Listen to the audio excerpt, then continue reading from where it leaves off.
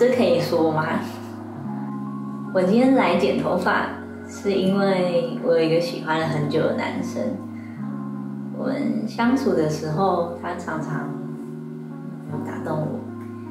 我记得我们刚认识的时候，他就邀请我去他们家展览。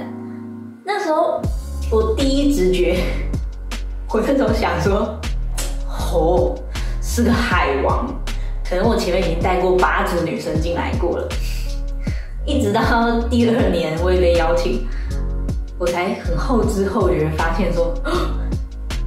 原来我是唯一一个被邀请的女生，嗯，然后我们就这样错过了。我觉得这可能也跟我的生长环境有关吧。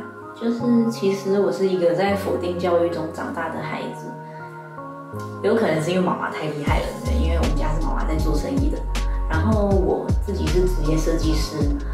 我觉得好像从小到大，不管我在我这个领域中，就是得到了多好的成绩，或者是取得了多厉害的奖项，妈妈好像都很少说，就是给我鼓励啊，或是称赞。